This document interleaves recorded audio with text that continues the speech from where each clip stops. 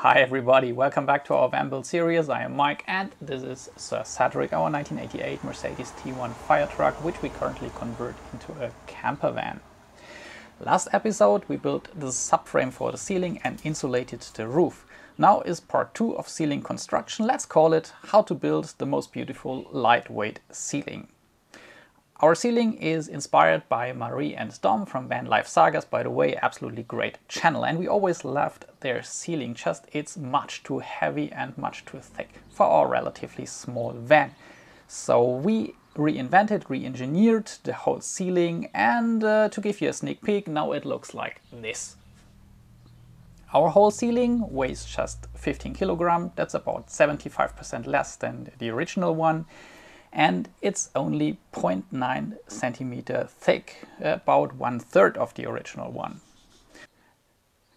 And we wanted the ceiling to be more flexible because our roof is curved and we wanted the ceiling to follow the line of the roof and make the cockpit section as open and airy as possible.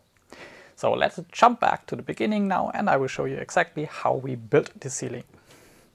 We use these two materials, super lightweight 4mm poplar plywood, which is only 1.5 kilogram per square meter, and half a centimeter thin pine slats, which are only 100 gram per meter.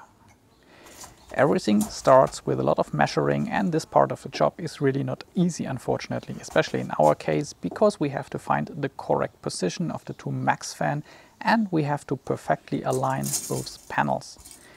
The actual cutting with the jigsaw is then the easy part of the job. For later installation of the panel we use M6 bolts together with the existing anchor nuts and additional screws into the subframe. With a pencil in a piece of wood, the good old trick which I already used last video, I copy the shape of the front end of my plywood panel, then I cut it with the jigsaw. Before cutting the holes for the LED spots, we put the two center pine slats provisionally in place. For cutting these small holes, we use a hole saw. Again, measuring is complicated and time consuming, cutting is fast and easy.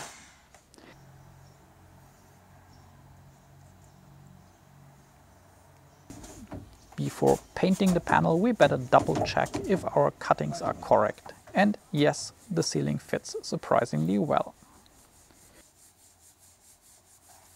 Our color concept is a dark background and light color for the slats. We use Osmo Decor Wax in ebony color, a combination of oil and wax, which is easy to apply. This product is certified for indoor use and even for kids' toys, so I believe it's not toxic.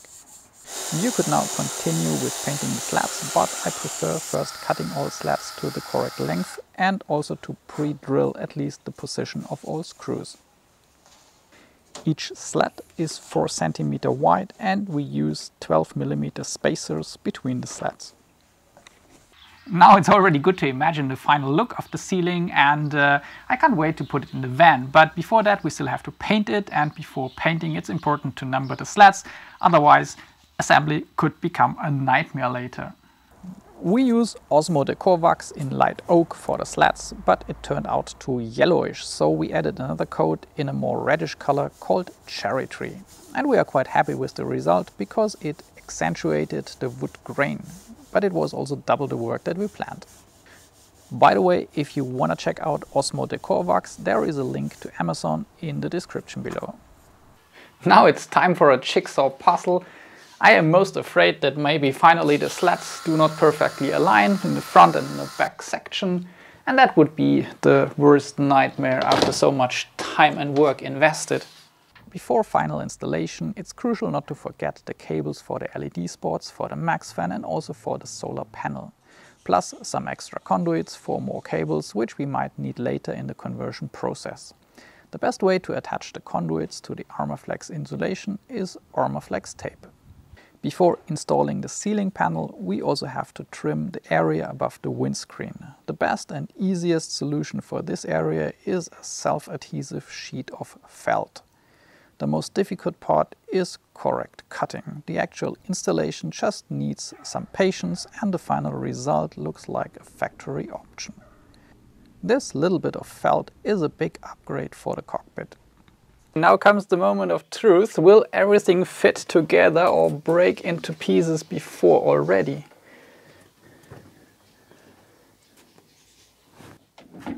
Hier müssen wir ungefähr Investing in these extendable columns, not sure how they are correctly named in English, was absolutely crucial.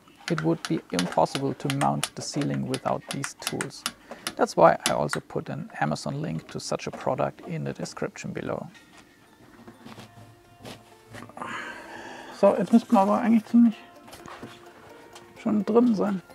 The first panel is in place and I think it looks absolutely amazing. But in other words, the second panel still has to prove that it also fits and that all slats finally are dead straight. Nothing less would be acceptable, of course.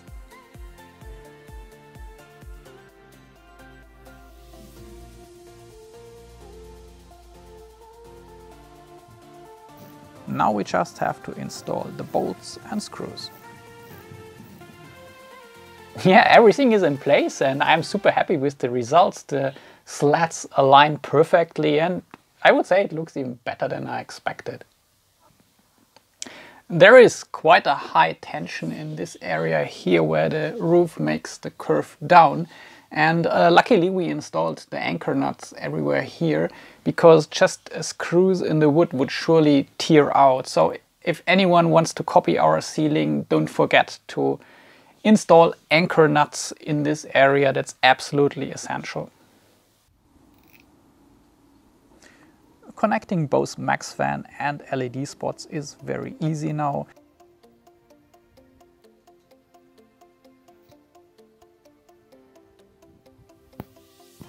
By the way, I think these matte black LED spots are a perfect match to our ceiling and if you want to check them out, there is a link in the description.